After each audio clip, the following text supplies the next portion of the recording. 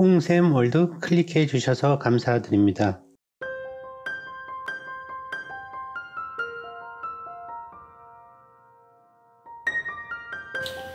참다운 삶을 위한 훈학을 태공이 말하였다. 자기가 잘났다고 생각하여 남을 없이 여겨서는 안 되며 자기가 크다고 생각해서 작은 사람을 무시해서도 안 되고 용기를 믿고 적을 가볍게 대해서도 안 된다. 맹자가 말하였다. 힘으로 남을 이기려 하면 겉으로는 복종한 채 하지만 진심으로 복종한 것이 아니라 힘이 부족해서이고 덕으로서 남을 복종시키려 하면 마음속으로 기뻐서 진심으로 복종하게 된다.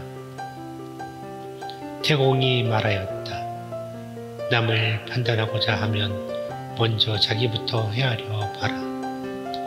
남을 해치는 말은 도리어 자신을 해치게 되니 피를 머금었다가 남에게 뿜으면 먼저 자신의 입부터 더러워진다.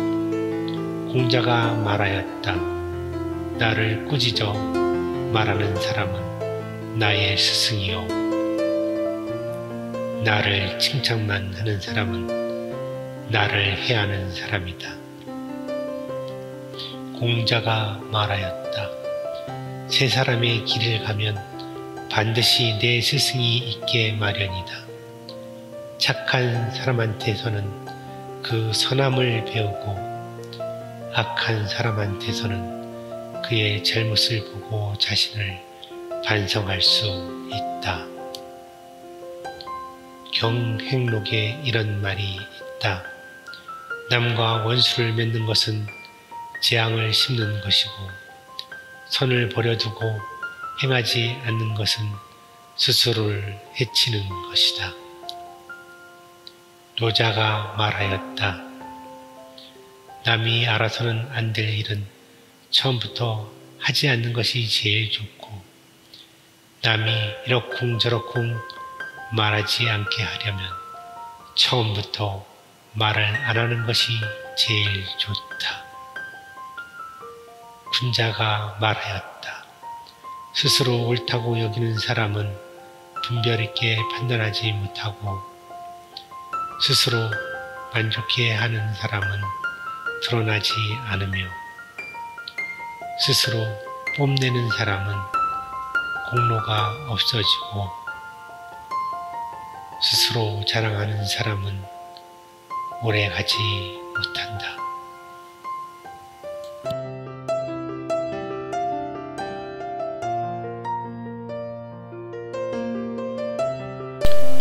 다음 부분은 여러분이 마음으로 읽어보는 시간입니다. 자막만 나가고 낭독은 여러분이 직접